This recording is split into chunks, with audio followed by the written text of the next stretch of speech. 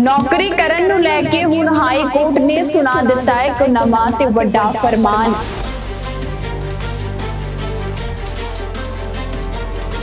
High court ਦਾ ਕਹਿਣਾ ਕਿ ਭਰਾ ਦੀ ਮੌਤ ਤੋਂ ਬਾਅਦ ਉਸ ਦੀ ਭੈਣ ਨੂੰ ਨਹੀਂ ਮਿਲ ਸਕਦੀ ਉਸ ਭਰਾ ਦੀ ਨੌਕਰੀ।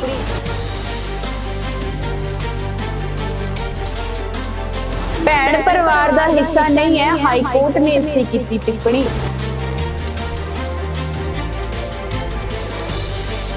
ਤਾਂ ਇਸ ਵੇਲੇ ਦੀ ਖਬਰ ਤੁਹਾਡੇ ਨਾਲ ਸਾਂਝੀ ਕਰਨ ਜਾ ਰਹੇ ਹਾਂ ਕਿ ਅਕਸਰ ਅਜਿਹਾ ਹੁੰਦਾ ਹੈ ਕਿ ਜਿਵੇਂ ਕੋਈ ਵਿਅਕਤੀ ਘਰ ਦੇ ਵਿੱਚੋਂ ਸਰਕਾਰੀ ਨੌਕਰੀ ਕਰਦਾ ਹੈ, ਜੇਕਰ ਉਸ ਦੀ ਮੌਤ ਹੋ ਜਾਂਦੀ ਹੈ, ਤਾਂ ਉਸ ਤੋਂ ਬਾਅਦ ਪਰਿਵਾਰ ਦੇ ਕਿਸੇ ਵੀ ਮੈਂਬਰ ਨੂੰ ਉਸ ਦੀ ਜਗ੍ਹਾ ਨੌਕਰੀ ਮਿਲ ਜਾਂਦੀ ਹੈ ਤਾਂ ਜੋ ਉਹਨਾਂ ਦੇ ਘਰ ਦਾ ਗੁਜ਼ਾਰਾ ਵਧੀਆ ਚੱਲਦਾ ਰਹੇ। ਪਰ ਇੱਥੇ ਹਾਈ ਕੋਰਟ ਨੇ ਇੱਕ ਵੱਡੀ ਟਿੱਪਣੀ ਕੀਤੀ ਹੈ ਤੇ ਉਸ ਟਿੱਪਣੀ ਨੂੰ ਸੁਣ ਕੇ ਤੁਸੀਂ ਵੀ ਹੈਰਾਨ ਹੋ ਜਾਓਗੇ। ਦੱਸਿਆ ਜਾ ਰਿਹਾ ਹੈ ਕਿ ਜੇਕਰ ਇੱਕ ਭਰਾ ਸਰਕਾਰੀ ਨੌਕਰੀ ਕਰਦਾ ਹੈ ਜੇਕਰ ਉਸ ਦੀ ਅਚਾਨਕ ਮੌਤ ਹੋ ਜਾਂਦੀ ਹੈ, ਤਾਂ ਭਰਾ ਦੀ ਮੌਤ ਤੋਂ ਬਾਅਦ ਉਸ ਦੀ ਭੈਣ ਨੂੰ ਨੌਕਰੀ ਨਹੀਂ ਮਿਲ ਸਕਦੀ, ਕਿਉਂਕਿ ਉਹ ਪਰਿਵਾਰ ਦਾ ਹਿੱਸਾ ਨਹੀਂ ਹੈ। ਅਜਿਹੀ ਟਿੱਪਣੀ ਜਿਹੜੀ ਹੈ, ਹਾਈ ਕੋਰਟ ਦੇ ਵੱਲੋਂ ਕੀਤੀ ਗਈ ਹੈ। ਇਹ ਮਾਮਲਾ ਉਦੋਂ ਧਿਆਨ ਦੇ ਵਿੱਚ ਆਉਂਦਾ ਹੈ, ਜਦੋਂ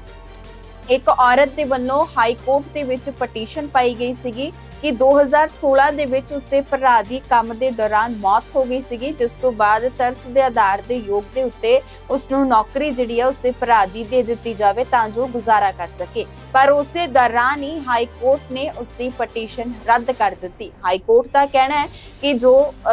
ਜਿਸ ਦੀ ਮੌਤ ਹੋ ਚੁੱਕੀ ਹੈ, ਉਸਦੀ ਪਤਨੀ, ਬੇਟਾ ਜਾਂ ਧੀ, ਉਸ ਨਾਲ ਤਿੰਨਾਂ ਦੇ ਵਿੱਚੋਂ ਕਿਸੇ ਇੱਕ ਨੂੰ ਨੌਕਰੀ ਮਿਲ ਸਕਦੀ ਹੈ, ਕਿਉਂਕਿ ਉਹ ਉਸ ਦਾ ਪਰਿਵਾਰ ਹੈ। ਤੇ ਲੜਕੀ ਜਿਹੜੀ ਆ ਜਾਨੀ ਕਿ ਉਸ ਲੜਕੇ ਦੀ ਭੈਣ ਜਿਹੜੀ ਆ ਉਸ ਦੀ ਪਟੀਸ਼ਨ ਉਸ ਕਰਕੇ ਰੱਦ ਕੀਤਾ ਗਿਆ ਕਿਉਂਕਿ ਹਾਈ ਕੋਰਟ ਦਾ ਕਹਿਣਾ ਹੈ ਕਿ ਜੋ ਭੈਣ ਹੈ, ਉਹ ਪਰਿਵਾਰਕ ਮੈਂਬਰ ਨਹੀਂ ਹੈ। ਇਸ ਕਰਕੇ ਜਿਹੜੀ ਨੌਕਰੀ ਹੈ, ਜੋ ਭਰਾ ਦੀ ਨੌਕਰੀ ਕੀਤੀ ਗਈ ਸੀਗੀ, ਜੋ ਭਰਾ ਨੌਕਰੀ ਕਰ ਰਿਹਾ ਸੀਗਾ ਉਹ ਨੌਕਰੀ ਜਿਹੜੀ ਹੈ ਉਸ ਦੀ ਭੈਣ ਨੂੰ ਨਹੀਂ ਮਿਲ ਸਕਦੀ ਕਿਉਂਕਿ ਉਹ ਪਰਿਵਾਰ ਦਾ ਹਿੱਸਾ ਨਹੀਂ ਹੈ। ਤਾਂ ਜਿਹਨਾਂ ਨੂੰ ਨੌਕਰੀ ਮਿਲ ਸਕਦੀ ਹੈ, ਜੇਕਰ ਭਰਾ ਵਿਆਹਿਆ ਹੋਇਆ ਹੈ ਤਾਂ ਉਸ ਦੀ ਪਤਨੀ, ਮੁੰਡਾ ਜਾਂ ਧੀ, ਇਹਨਾਂ ਤਿੰਨਾਂ ਦੇ ਵਿੱਚੋਂ ਕਿਸੇ ਨੂੰ ਨੌਕਰੀ ਜਿਹੜੀ ਹੈ ਉਹ ਮਿਲ ਸਕਦੀ ਹੈ। ਦੱਸ ਦਈਏ ਕਿ ਹਾਈ ਕੋਰਟ ਨੇ ਅੱਗੇ ਕਿਹਾ ਕਿ ਅਜਿਹਾ ਕੋਈ ਦਸਤਾਵੇਜ਼ ਰਿਕਾਰਡ ਤੇ ਨਹੀਂ ਰੱਖਿਆ ਗਿਆ, ਜਿਸ ਤੋਂ ਪਤਾ ਚੱਲ ਸਕੇ ਕਿ ਅਪੀਲ ਕਰਤਾ ਆਪਣੇ ਭਰਾ ਦੀ ਆਮਦਨ ਤੇ ਨਿਰਭਰ ਸੀਗੀ। ਨਾ ਹੀ ਇਸ ਗੱਲ ਦਾ ਕੋਈ ਸਬੂਤ ਸੀ ਕਿ ਮਰਤਕ ਦਾ ਪਰਿਵਾਰ ਆਰਥਿਕ ਤੰਗੀ ਵਿੱਚ ਸੀ, ਜੋ ਉਸ ਦੇ ਦਾਅਵੇ ਨੂੰ ਜਾਇਜ਼ ਠਹਿਰਾਉਂਦਾ ਹੋਵੇ। ਤਾਂ ਦੱਸ ਦਈਏ ਕਿ ਦੱਸਿਆ ਗਿਆ ਹੈ ਕਿ ਮ੍ਰਿਤਕ ਪੁਰਸ਼ ਜਿਹੜਾ ਆ, ਸਰਕਾਰੀ ਕਰਮਚਾਰੀ ਮਾਮਲੇ ਦੇ ਵਿੱਚ ਮ੍ਰਿਤਕ ਪੁਰਸ਼ ਦੇ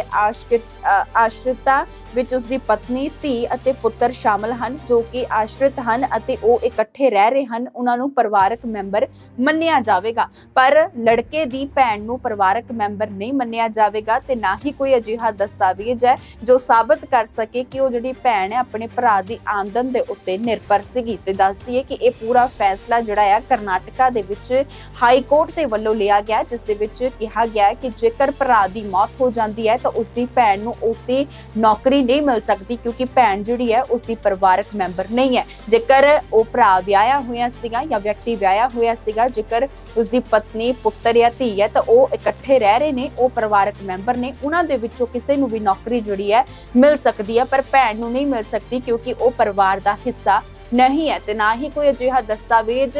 ਉਹ ਸਾਬਤ ਕਰਦਾ ਸੀਗਾ ਕਿ ਭੈਣ ਜਿਹੜੀ ਆਪਣੇ ਭਰਾ ਦੀ ਆਮਦਨ ਦੇ ਉੱਤੇ ਨਿਰਭਰ ਹੋਵੇ। ਤਾਂ ਵੱਡਾ ਫੈਸਲਾ ਜਿਹੜਾ ਹਾਈ ਕੋਰਟ ਦੇ ਵੱਲੋਂ ਸੁਣਾਇਆ ਗਿਆ ਤੇ ਪਟੀਸ਼ਨ ਕਰਤਾ ਦੀ ਪਟੀਸ਼ਨ ਨੂੰ ਵੀ ਮੁੱਢ ਤੋਂ ਰੱਦ ਕਰ ਦਿੱਤਾ ਗਿਆ 2016 ਦੇ ਵਿੱਚ ਉਸਦੇ ਭਰਾ ਦੀ ਮੌਤ ਹੋ ਚੁੱਕੀ ਸੀਗੀ ਤੇ ਉਸ ਭੈਣ ਦਾ ਕਹਿਣਾ ਸੀਗਾ ਕਿ ਉਸਦੇ ਭਰਾ ਦੀ ਨੌਕਰੀ ਜਿਹੜੀ ਹੈ ਉਸ ਨੂੰ ਦੇ ਦਿੱਤੀ ਜਾਵੇ, ਪਰ ਕੋਰਟ ਦਾ ਕਹਿਣਾ ਹੈ ਕਿ ਭੈਣ ਨੂੰ ਨੌਕਰੀ ਭਰਾ ਦੀ ਨਹੀਂ ਮਿਲ ਸਕਦੀ ਕਿਉਂਕਿ ਭੈਣ ਜਿਹੜੀ ਹੈ ਉਹ ਪਰਿਵਾਰ ਦਾ ਹਿੱਸਾ ਬਿਲਕੁਲ ਵੀ ਨਹੀਂ ਹੈ।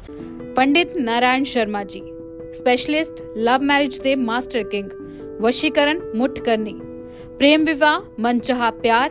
ਕਾਲਾ ਜਾਦੂ, ਕੰਮ ਦੇ ਵਿੱਚ ਰੁਕਾਵਟ ਪਤੀ ਪਤਨੀ ਚ ਅਨਬਨ ਸੋਤਨ ਦੁਸ਼ਮਣ ਤੋਂ ਛੁਟਕਾਰਾ, ਕੀਤਾ ਕਰਾਇਆ ਨੌਕਰੀ ਦੇ ਵਿੱਚ ਸਮੱਸਿਆ, ਪਿਆਰ ਚ ਧੋਖਾ ਖਾਏ ਪ੍ਰੇਮੀ ਪ੍ਰੇਮਿਕਾ ਇੱਕ ਵਾਰ ਜ਼ਰੂਰ ਕਾਲ ਕਰਨ। A to Z ਸਮੱਸਿਆ ਦਾ ਸਮਾਧਾਨ, ਹਰ ਮੁਸ਼ਕਿਲ ਤੋਂ ਮੁਸ਼ਕਿਲ ਸਮੱਸਿਆ ਦਾ ਹੱਲ।